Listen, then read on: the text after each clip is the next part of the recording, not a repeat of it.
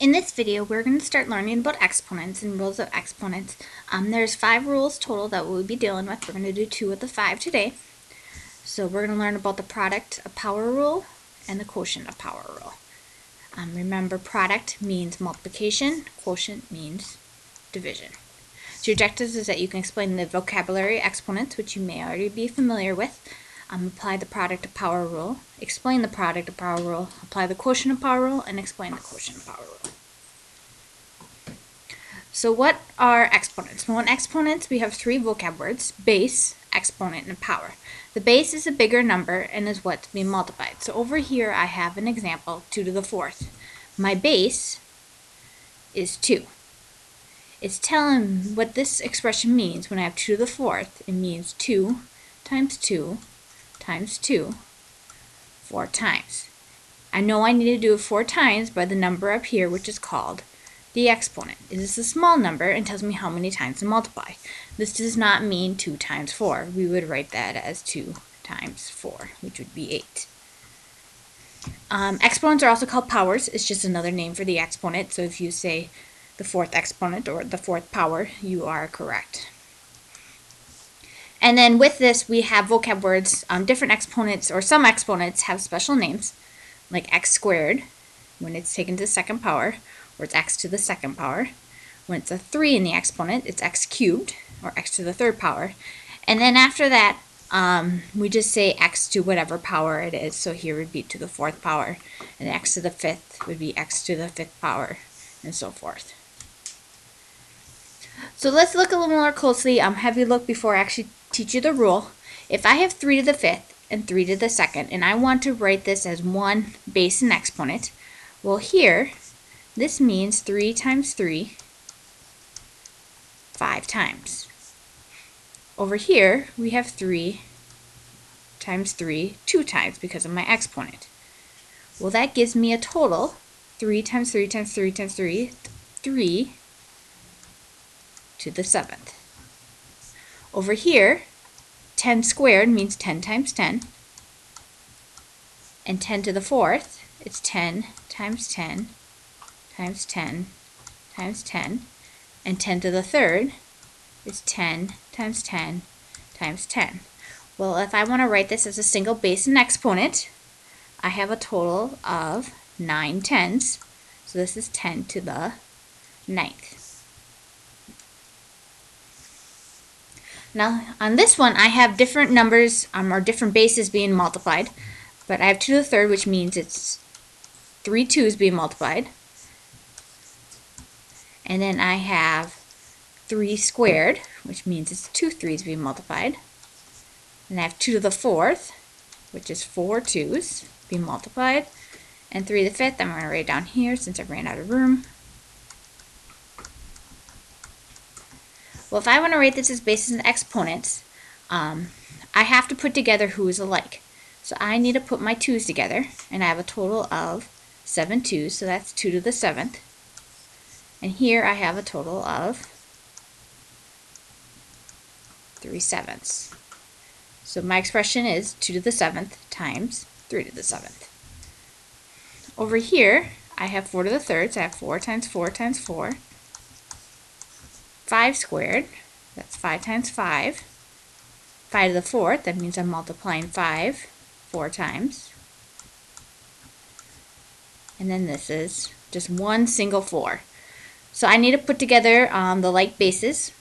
I have how many 4's are being multiplied? That is 4 to the fourth. How many 5's are being multiplied? That is 5 to the 6. And you might see some patterns with the exponents. If you kind of notice on this last example, I have 4 to the third, and this is 4 to the 1. Well, that means I have a total of 4 4s, so that's 4 to the fourth. Here, I have 5 squared and 5 to the fourth. 2 plus 4 is 6. This tells me I have a total of 6 5s being multiplied. So I'm adding the exponents. Here, I'm dividing my 2's. So in the numerator, I have one big fraction.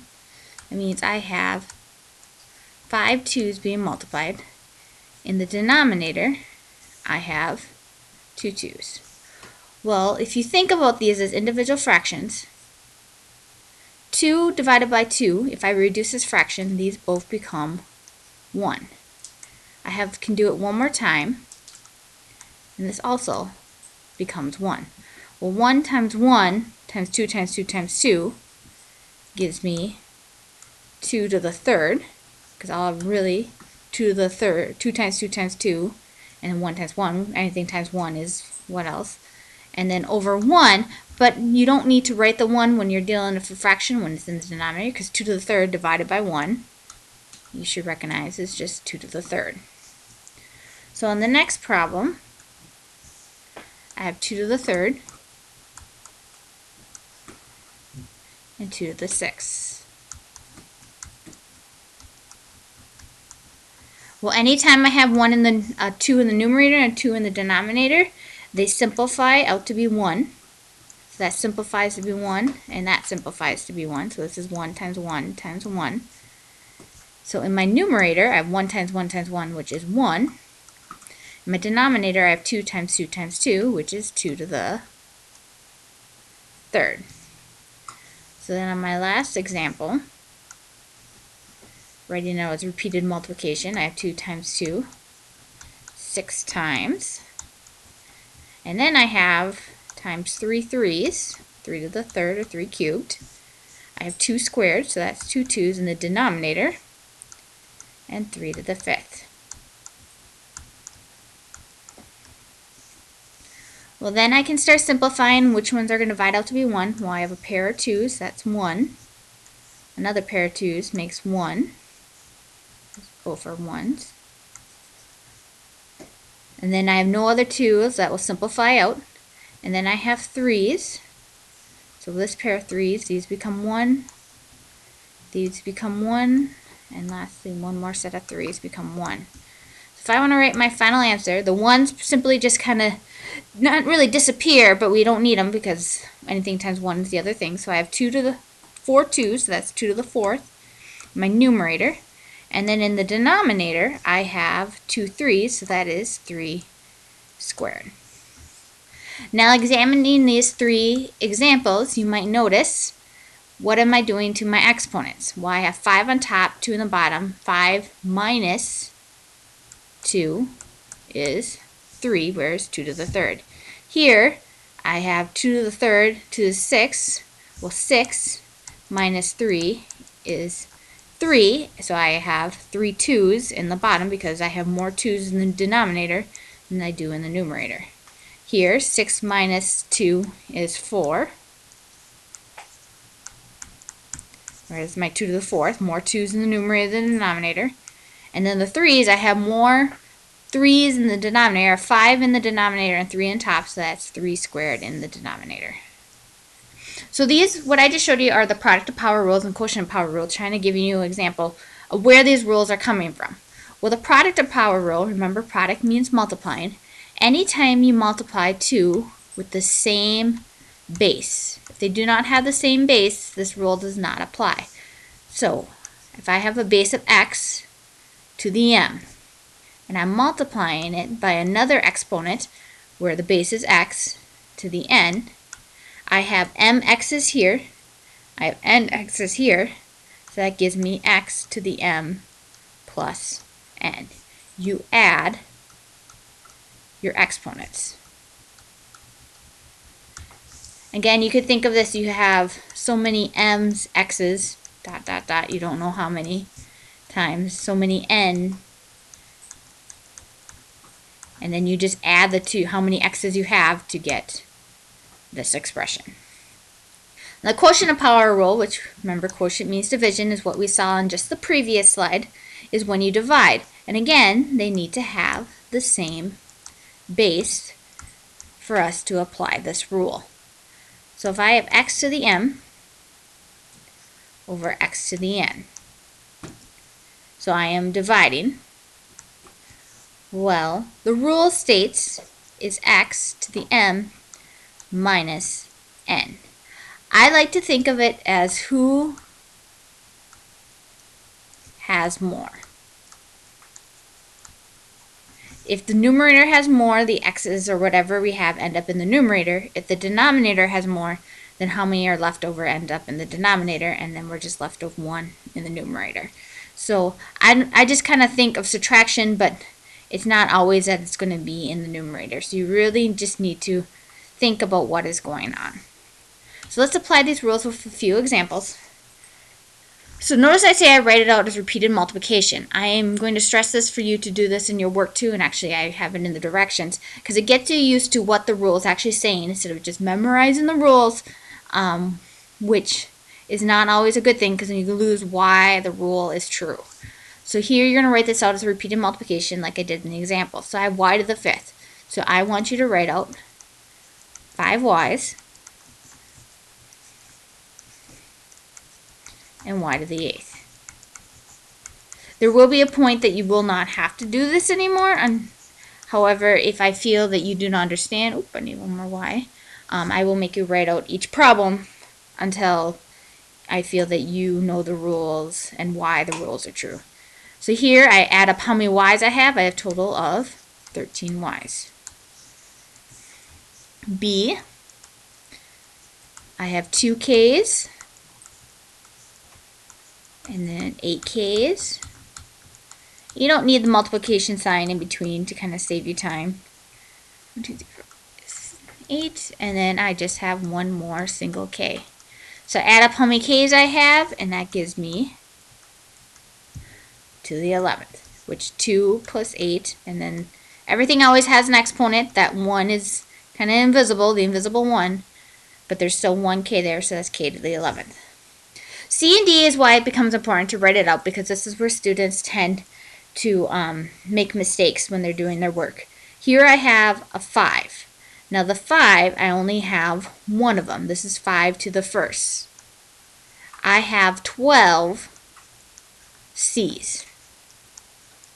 The exponent only goes to one thing. It does not go through a whole bunch. 1, 2, 3, 4, 5, 6, 7, 8, 9, 10, 11, 12. Over here, I have only one, two. This is two, or negative two. This is, but then I have three C's. All right, so you are multiplying. So when we have numbers, we multiply them together. This is 5 times negative 2, which is negative 10. How many C's do we have? We have a total of 15. Again, you're multiplying here, so that's why I got 5 and negative 2. You're not adding. So similarly, on D, I have negative 3, 2 G's, and H. I have 7 G and 8 H's. And then write the other one down here. I have negative 2, 4 G's, 9 E's,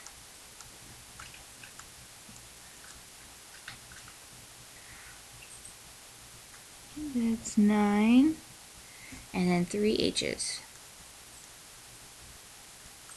Alright.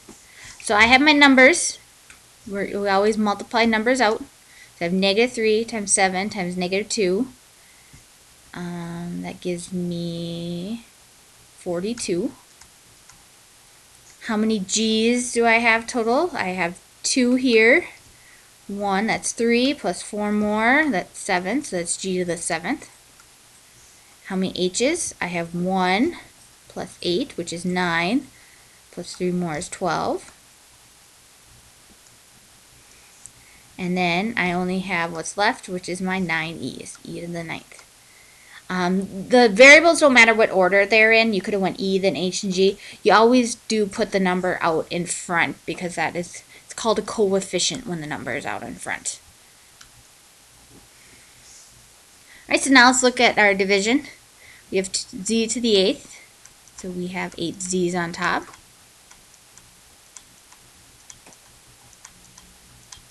use z to the fifth. So just like I did in the slides a few times ago, we simplify. If we have one on top, one on the bottom, they all become 1, and that becomes 1. So 1 times z times z times z is z times z times z.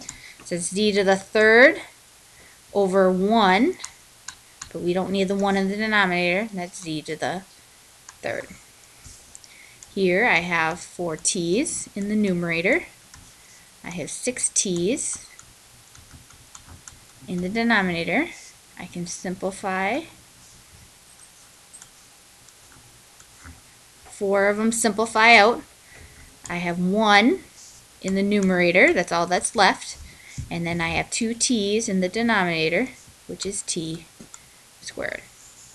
1 over t squared.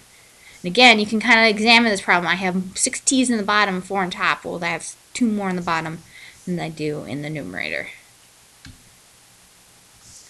Alright, so we're going to do this one on the numerator. How many 4's do I have? I don't have 3 of them. I only have 1 because there's only there's no exponent, so that means I have 1 4. Its exponent is 1. But I have 3 m's and 7 n's. Down here, I only have 1 8. I have 9 m's. 4, 5, 6, m. And then I have 3 n's. Alright, so let's take a look what simplifies. Your m's. So I have three m's that simplify out. So that becomes 1. I'm left with, so we have 6m, m to the 6 in the denominator. My n's, I have one, two, three of them cancel, so that becomes 1.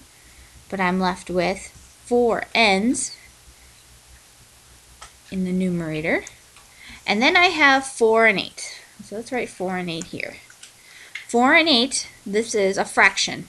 So you kind of, if you think of it separately, all fractions, and you've been told this since elementary school, you need to reduce your fractions. We like fractions in lowest terms. So 4 eighths, if I would simplify that, becomes 1 half. So 1 times n to the fourth is n to the fourth. And then I'm left with a 2 m to the sixth. This is completely simplified. So you have to reduce your fractions. Alright, so then here I have three A's, a B, and nine C's. I have seven A's, five B's, and four C's. Alright, so canceling out. I'm left with four A's in my denominator. My B's, I only have one that simplifies, so I'm left with four B's in my numerator. This is 1 times 1. And then I have four C's that cancel. So I'm left with C to the fifth in my numerator. Alright, so on I, again, when we get to the bigger ones, this is where it's really helpful to write it out. That's why I kind of started doing this repeated multiplication. So you have a 4. We only have one 4. That 3 goes to the m. So it's 1, 2, 3 m's, 7 n's. Alright. And then, if you think of fractions, we're multiplying two fractions. And you learn when you learn fractions, you multiply across. So I'll actually have four n's on top here. All over 8 p's.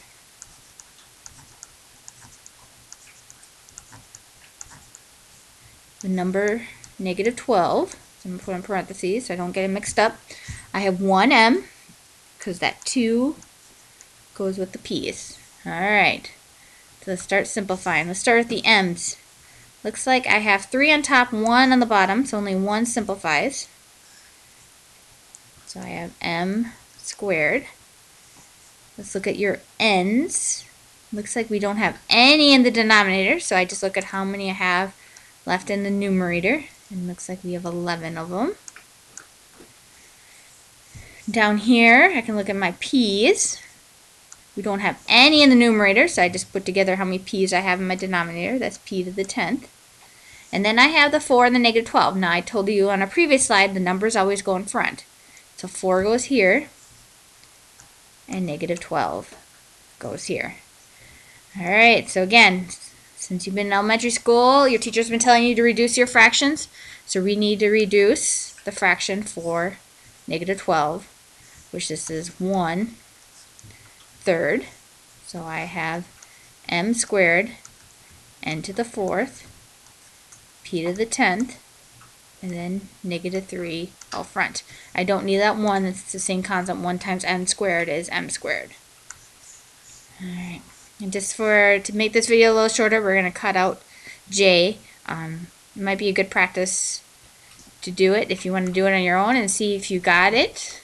Your final answer should come out to be k to the 14th.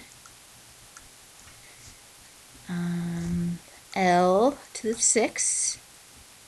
And then you have m to the fourth in denominator. So try that one on your own and see if you come up with that answer. It'd be a good practice or check to see if you're for your understanding. All right, so review. You need to know your vocab. Um, we'll use those terms a lot. Your base, your power, your exponent. Um, you have two rules, the product power rule and the quotient of power rule, which you're going to be used more and more frequently, but you essentially, when you multiply two with the same bases, you add the exponents. If you divide two with the same bases, this means you subtract your exponents. And they need to have the same basis to apply these rules. Um, just a reminder to do your reflections. You get credit for watching this video.